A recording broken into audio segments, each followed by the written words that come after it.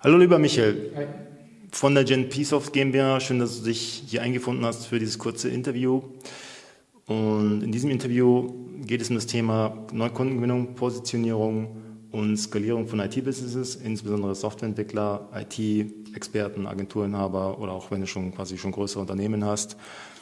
Und im Zuge dessen einfach mal ganz kurz das erste Thema, das wir besprechen wollen, Angst vor der Kaltakquise. Da habe ich ja auch immer wieder meinen Coachings die, die Erfahrung gemacht und ähm, dass äh, Kunden teilweise wirklich ähm, Angstzustände bekommen, wenn es darum geht, äh, Entscheider anzurufen.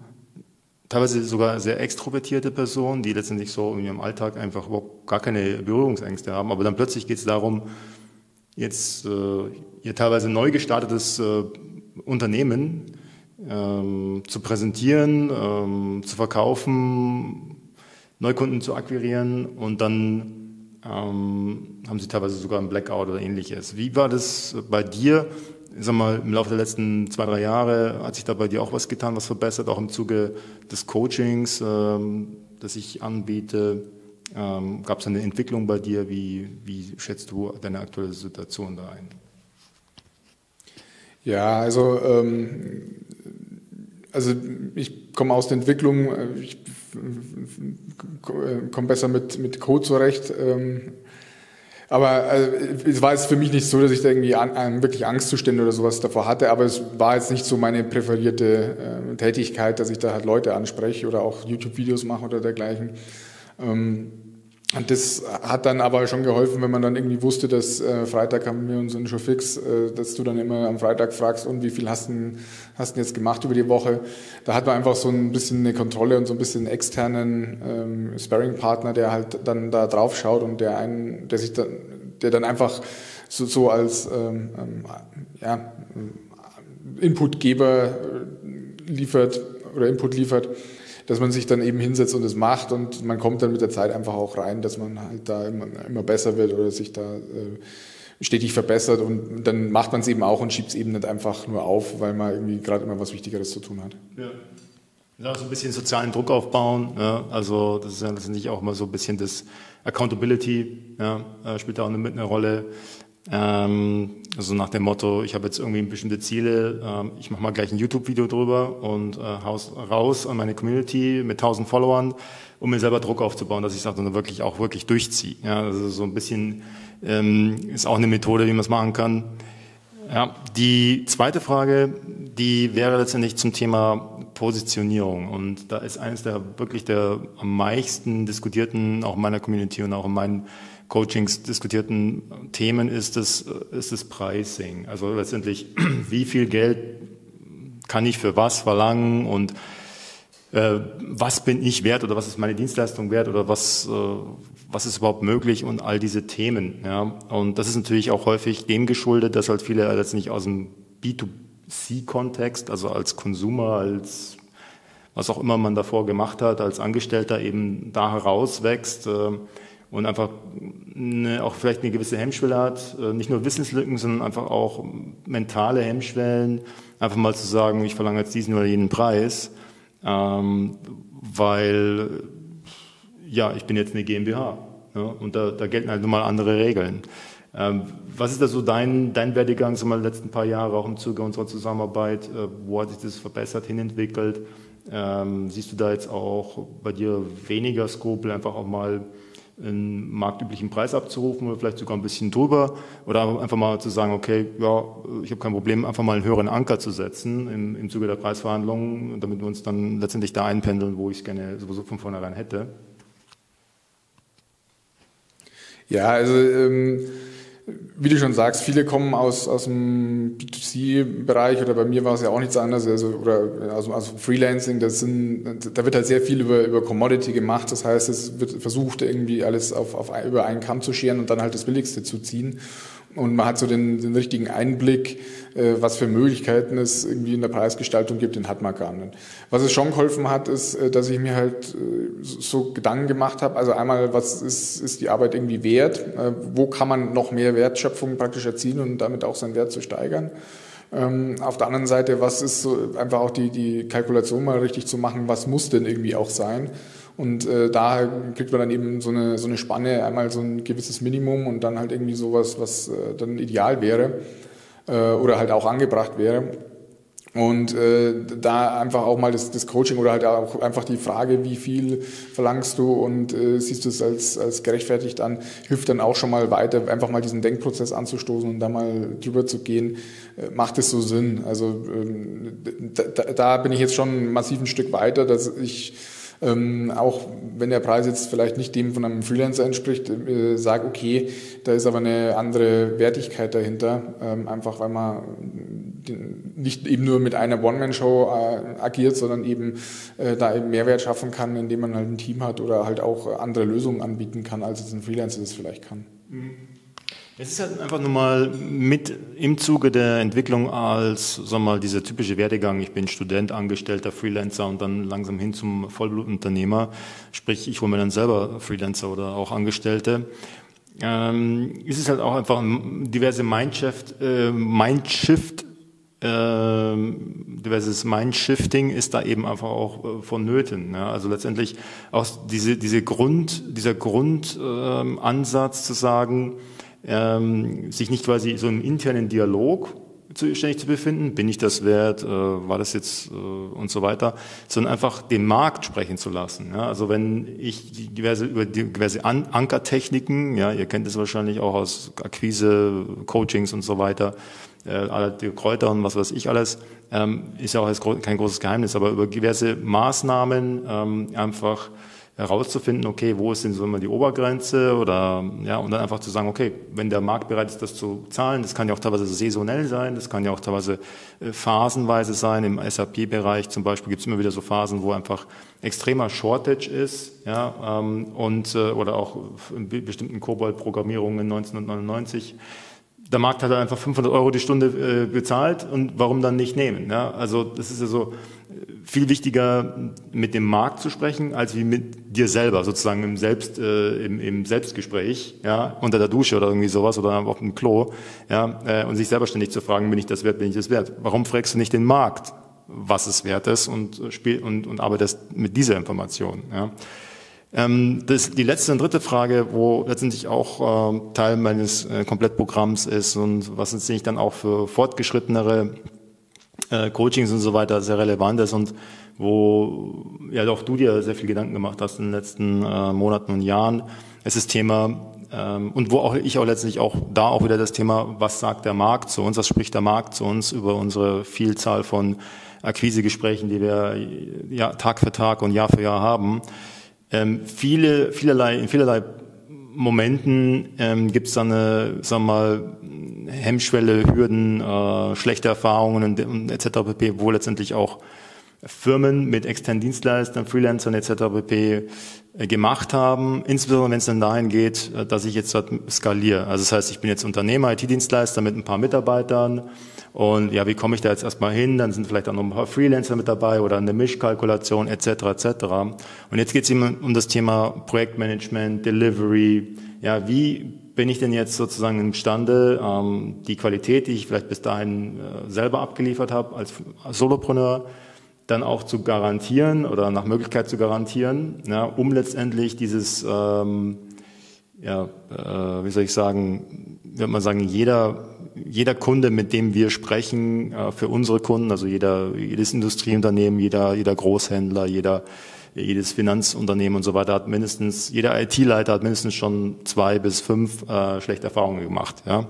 Und genau aus diesen Gründen, ja, weil sie einfach was eingekauft haben und es war vielleicht auch gar nicht schlecht gemeint, aber dann ist nicht der Dienstleister, ist dann am Fulfillment gescheitert äh, weil einfach intern die Prozesse nicht funktioniert haben, weil man einfach zu schnell skalieren wollte, Leute eingestellt hat, die, die nicht funktioniert haben, äh, sehr hohe Fluktuation äh, dann stattgefunden hat, ja, ähm, wo man dann sich als Endkunde, also in dem Fall jetzt der Industriebetrieb oder wer auch immer, dann fragt, naja, wenn ich äh, hier alle drei Monate oder alle drei Wochen äh, über diesen IT-Dienstleister eine neue Person äh, einlernen muss, ja, dann kann ich ja so kann ich auch gleich selber die Freelancer irgendwelche einstellen oder sowas. Ne? Also dieses, diese, dieses Management, ähm, diese Managementfunktion, äh, dieses Abfedern von Risiken, ähm, dieses Delivery, ähm, mit, Qual mit mehr oder weniger garantierter Qualität.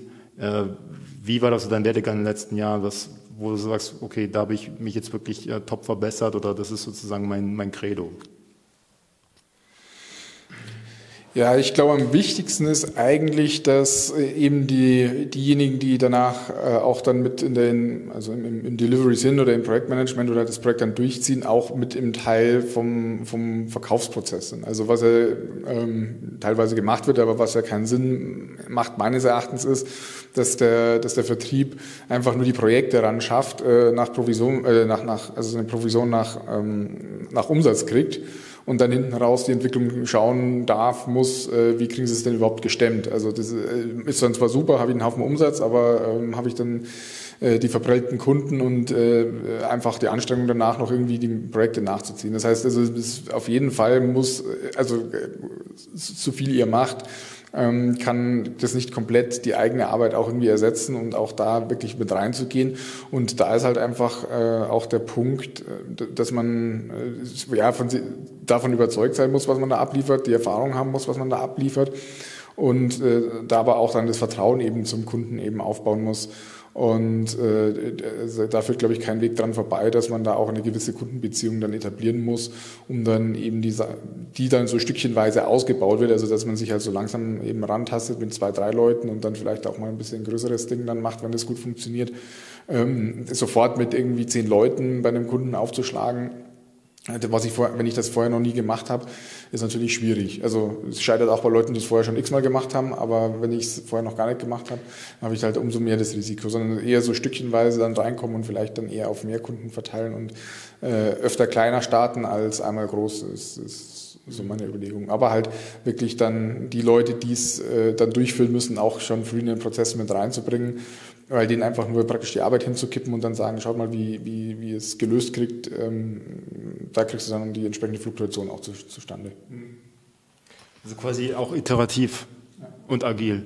So die Softwareentwicklung selbst, auch letztendlich auch im Delivery oder im Teamaufbau. Also ich weiß es ja noch, ähm, quasi, ich habe früher auch für große IT-Hersteller, also schon vor vielen Jahren, Kaspersky und dergleichen, auch Teams aufbauen dürfen, ähm, wo wir quasi andere Agenturen abgelöst hatten damals, ja, und ich war da auch sehr stark als Coach dann und ein Teambuilder äh, operativ tätig. Und äh, da haben wir quasi andere Agenturen abgelöst äh, für die Inside Sales Tätigkeit. Die haben das ja komplett outgesourced für den kompletten Dachbereich, äh, auch andere Firmen. Äh, und das war einer der größten Teams. Äh, da haben wir ein Team abgelöst von ungefähr 16 Personen Inside Sales. Und dann haben wir den Auftrag gewonnen und aber auch erstmal in Schritten. Ja, also wir haben zum Beispiel, um das Team quasi wieder aufzubauen auf 12, 15, 16 Leute, haben wir, abgesehen von äh, Hunderten von Interviews, ähm, erstmal zwei Leute eingestellt, dann erstmal die ein, eingelernt, ne, dann, und dann erstmal die zweiten zwei, ja, und dann äh, auf acht, ja, und das Ganze in, in dazwischen waren jeweils mehrere Wochen, ja. Das heißt also auch da quasi iterativ immer wieder aufgebaut, dann ist mal wieder einer ausgefallen, aber ähm, da wurde dann wieder relativ schnell ersetzt, ja, und äh, wir hatten dann auch sozusagen interne äh, Skalierungsmechanismen, kleine Prozesschen eingeführt, so dass man jetzt sagen wir mal die ersten beiden schon mehrere Monate dabei waren, dann haben die sozusagen äh, zumindest bis zum gewissen Grad ähm, das Coaching oder sagen wir mal die, die Einlernung und die Einlernphase und so weiter wieder übernommen. Heutzutage kann man ja auch noch vieles mit, mit Mitgliederbereichen und, äh, und äh, quasi äh, internen Akademien und, und Videofilmchen und so weiter auch alles abdecken. Ja, aber äh, so diese persönliche Kontakt, das persönliche Coaching, besonders im Inside Sales, äh, genauso in der Softwareentwicklung, denke ich, ist auch nochmal ähm, sehr, sehr hilfreich an der Stelle. Ja, okay, cool. Äh, danke für, für, diese, für diese drei Fragen. Waren sehr, sehr knifflige Fragen auf jeden Fall, aber letztendlich ähm, nochmal zusammenfassend ähm, geht es auf meinem YouTube-Kanal und in meinen, meinen Dienstleistungen, die wir bieten für die IT-Branche, letztendlich genau darum. Ja, also wenn du ganz am Anfang stehst, wie komme ich überhaupt erst mal an Kunden ran? Und da habe ich immer wieder auch festgestellt, äh, ich kann jemanden sogar die, die Handynummer von den Top 20 äh, Entscheidern von Deutschland äh, vor die Füße legen und er würde dort nicht anrufen, äh, weil er zu viel Schiss hat. Ja? Und äh, muss man einfach so knallhart sagen. Und wenn du auch dich da jetzt wieder drin siehst, dann hole gerne bei uns einen Termin bei klein-marketing.com, hier unten der, äh, der Link, oder wenn du das Video auf LinkedIn siehst, dann ist der Link halt hier oben. Und ähm, damit startet erstmal alles, ne? weil nur wenn du mit deinen Kunden direkt sprichst, ähm, da führt auch kein Weg dran vorbei. Ne? Du kannst es auch über LinkedIn Du kannst es auch über YouTube sozusagen unterstützen, über Content Marketing, aber am Ende, de, am Ende des Tages wird niemand bei dir eine Softwaredienstleistung oder irgendwas kaufen mit einem Klick äh, über einen Digistore oder sowas. Ja? Also quasi äh, wie so ein E-Shop.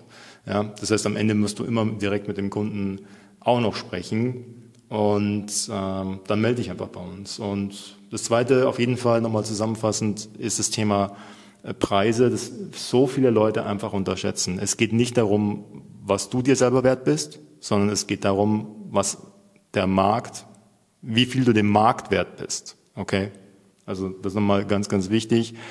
Und da auch, sag mal, jede 100 Euro, die du sagst, ja, passt schon, passt schon, ja, ähm, jede 100 Euro pro Tag, die du nicht einnimmst, sind schon wieder 100 mal 3 äh, mal 30, also mal 100 mal 20, sind schon wieder 2000 Euro im Monat, die du in Google Ads investieren könntest, ja. Oder deine Ehefrau einstellen oder deine Freundin äh, einen Teilzeitjob geben, ja. Äh, oder, oder, oder, oder. Also das heißt, ähm, jeder Euro, jeder Euro zählt, äh, insbesondere der, den du sowieso ganz easy hättest verdienen können, ähm, weil er dir quasi schon vor die Füße gelegt wird. Ich sehe das halt immer wieder, dass wenn es dann wirklich, wirklich darum geht, den Sack zuzumachen zu den 100, das, also die 10 Prozent mehr on top, dass man dann sagt, naja, nee, kann ich jetzt nicht bringen. Doch, klar, wenn der Markt das annimmt, dann bring's. Und das dritte ist einfach das Thema ähm, Vertrauensaufbau, wenn du auch dann wächst und nicht nur du quasi Dienstleistungen erbringst, sondern die richtigen Leute dann auch einstellst und die dann letztendlich auch so positionierst beim Kunden, dass der nicht quasi, dass du nicht auf dem irgendwelche Probleme abwälzt. Ja, also das ist letztendlich nicht nur, es geht ja letztendlich im Verkaufen auch, fängt schon an und auch in deinem Werteversprechen, auch in deinen ganzen Präsentationen nach außen hin, wie du Kunden gewinnst, ist letztendlich kein Kunde will mit einem Kauf bei einem Dienstleister sich irgendwelche zusätzlichen Probleme einkaufen. Also idealerweise will jeder Mensch per Knopfdruck das, das also quasi Zeit, Resultat und der Aufwand dahin zu kommen, minimal, Zeit eine Sekunde, Aufwand null und, ähm, und das, das ist sozusagen der Idealzustand, also rein hypothetisch gesprochen. Und desto näher den Kunden du da ranführen kannst, desto mehr werden von dir kaufen. Ja. Und deswegen ist es so wichtig, intern deine Hausaufgaben zu machen, äh, dir ganz gut zu überlegen, wen stellst du ein, mit wem arbeitest du zusammen, und äh, wie kommunizierst du deine Dienstleistung, wenn du mehrere Leute intern hast, so nach außen, dass du maximale Vertrauensaufbau dort hast. Ähm, also sowas nach dem Motto, wir sind eine Blackbox, gib uns einen Anforderungskatalog und äh, wir ziehen das durch und dann frisst oder stirbt lieber Kunde oder sowas. Da gibt's ja teilweise auch noch da draußen. Ähm, ist halt dann eher, dann bist du halt eher, gehörst du eher zu den eher schwarzen Schafen und äh, schadest nicht nur dir selber, sondern auch den kompletten Image deiner Branche als IT-Dienstleister, Softwarebude, ja, Softwareagentur. Okay, vielen Dank äh, für dieses Gespräch und dann sehen wir uns im nächsten Video. Bis dahin. Ciao. Sorry, ja. Habe schon seit einer halben Stunde wieder einen Termin. Die Leute geben mir irgendwelche. Ich glaube, ich muss meine Termine nicht so eng takten. Ähm, du kannst ja das verwenden. Ich schalte halt immer aus, damit ich.